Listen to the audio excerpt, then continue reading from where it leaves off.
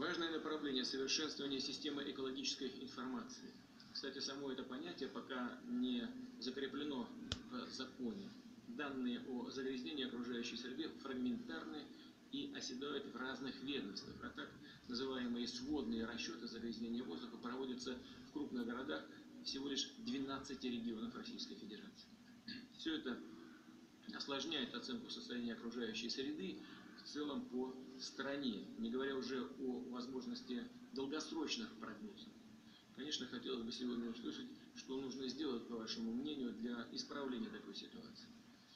Еще одна важная задача – обезвреживание отходов производства и потребления. Их общее количество составляет сейчас свыше 30 миллиардов тонн. Мусор выбрасывают где придется и как придется. И такие свалки занимают почти 48 тысяч гектар. Вы знаете, что законодательно уже введены жесткие нормы утилизации и обезвреживания коммунальных отходов. Но вступление в силу этих норм мы тоже пока сдвигаем вправо.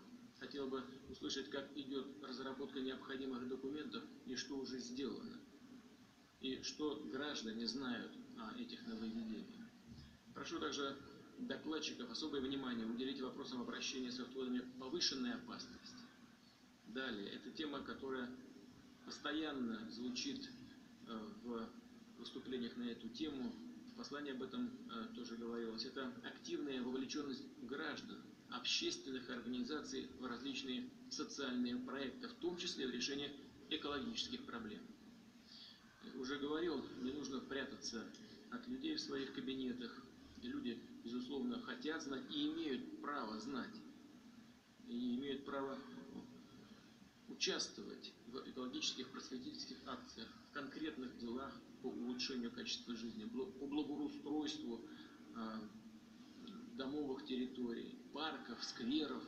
Я просто убежден, доверие инициативам граждан, диалог и партнерство с общественными движениями – очень важное условие формирования высокой экологической культуры в стране. И прошу Сергея Борисовича Иванова, председателя комитета по проведению года экологии, взять под свой патронат экологические проекты с участием волонтеров, в том числе по линии Русского географического общества и других объединений. Уважаемые коллеги, я обозначил только некоторые, далеко не все вопросы, требующие нашего внимания. Полагаю, что они прозвучат в докладах и в выступлениях. Это решение проблем энергосбережения, сохранение лесов, почв, водного пространства, уникальных природных объектов, редких видов животных и растений. Необходимо также обеспечить реализацию программ сбережения и экологического оздоровления а, таких наших общенациональных объектов, как Волга, Байкал, Телецкое озеро на Алтае.